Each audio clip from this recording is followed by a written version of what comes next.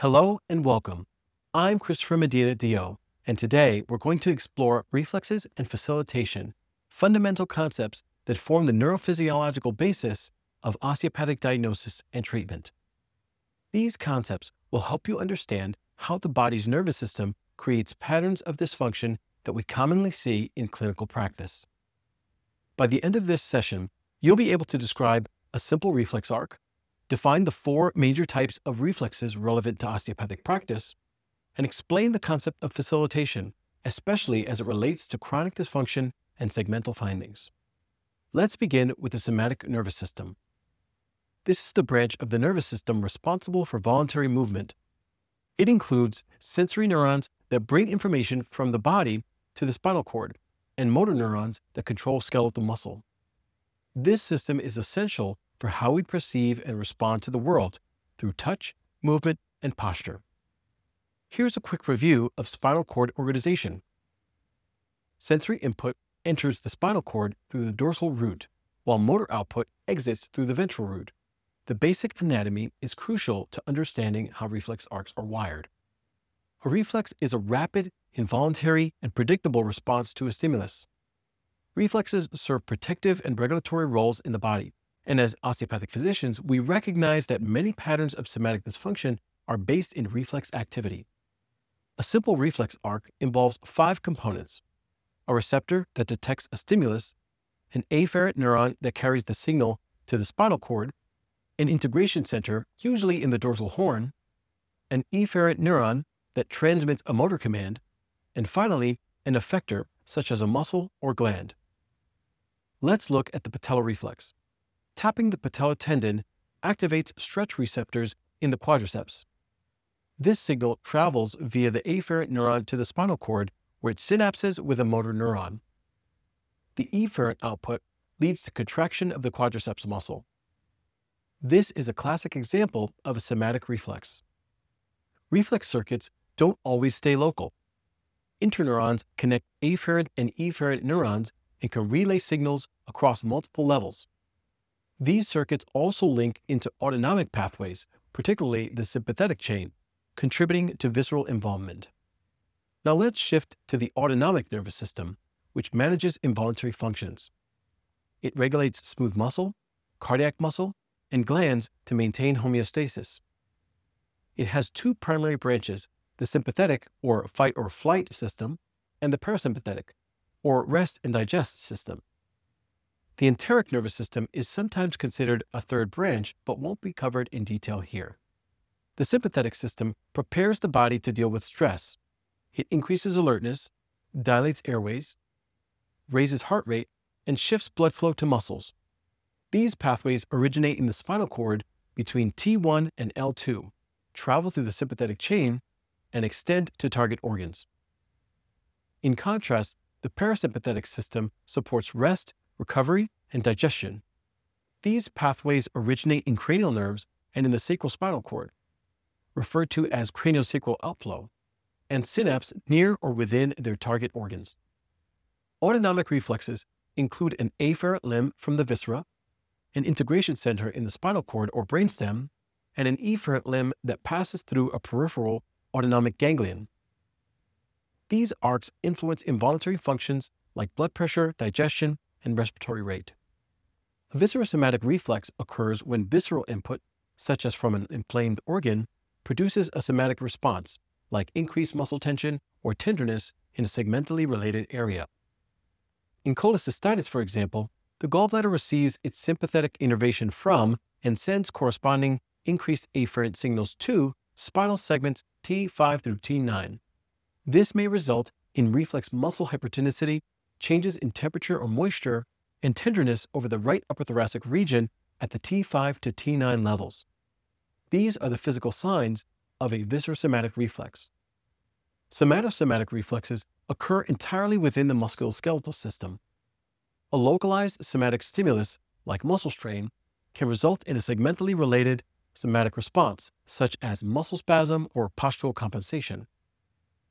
A classic example is the withdrawal reflex, if you step on a sharp object, sensory input from the foot triggers a spinal reflex that flexes the injured leg and extends the opposite leg for balance.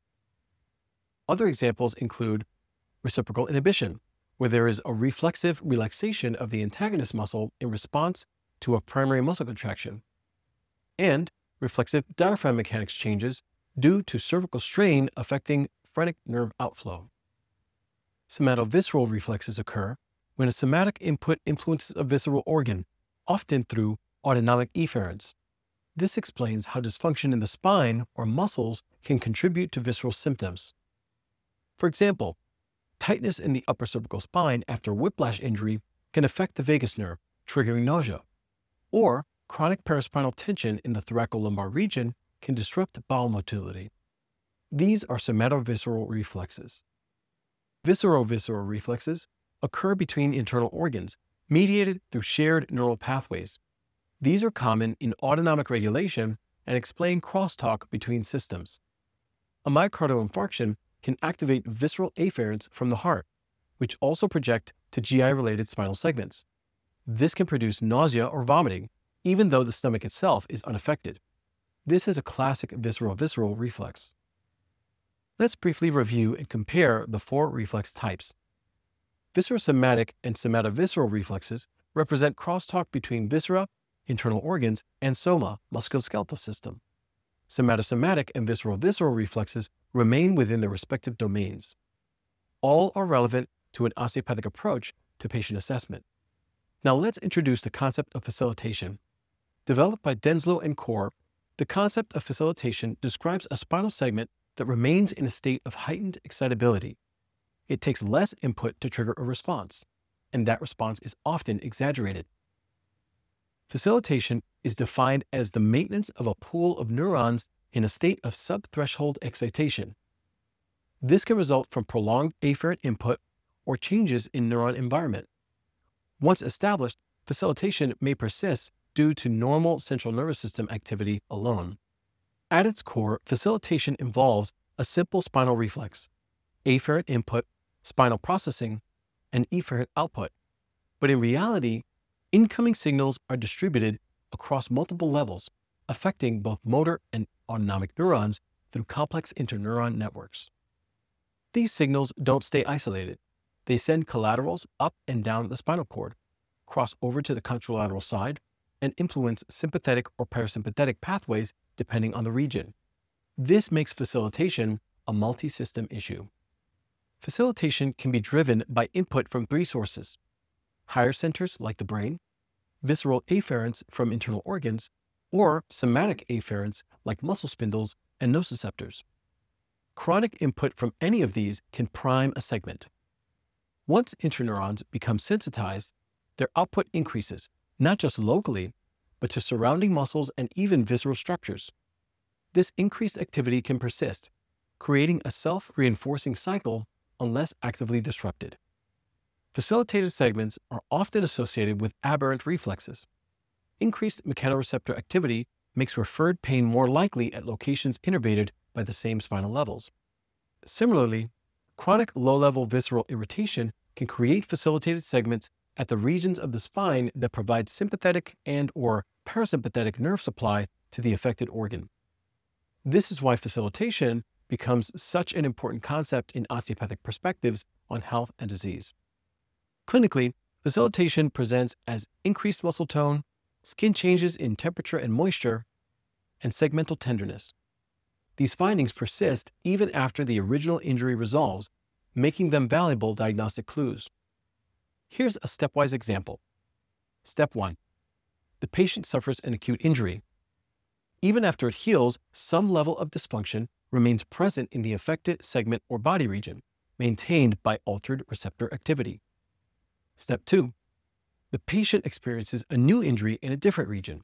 This new event activates motor and autonomic pathways, but also reactivates the previously sensitized segment. Step 3. The patient now reports symptoms in both regions, including the previously affected area that was thought to have recovered. This is due to the lowered threshold in the facilitated segment, which is now firing again despite no direct trauma. Understanding facilitation helps us explain chronic or referred pain, segmental tenderness, and persistent dysfunction. As osteopathic physicians, we can identify and treat facilitated segments with OMT to help restore autonomic balance and reduce aberrant neural signaling. Let's summarize the key takeaways from today's presentation. Reflex arcs are involuntary, predictable responses to stimuli that underlie many patterns of somatic dysfunction findings we see clinically. The four major reflex types, viscerosomatic, somatosomatic, somatovisceral, and viscerovisceral, help us understand the connections between the soma and viscera. Facilitation explains chronic segmental sensitization and helps us understand why dysfunction persists. Finally, osteopathic manipulative treatment helps resolve dysfunctional reflex activity and supports the body's natural self-regulation mechanisms.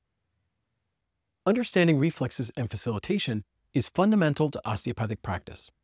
These concepts will help you understand the neurophysiological basis of many of the clinical findings you'll encounter and will guide your diagnostic and treatment approaches.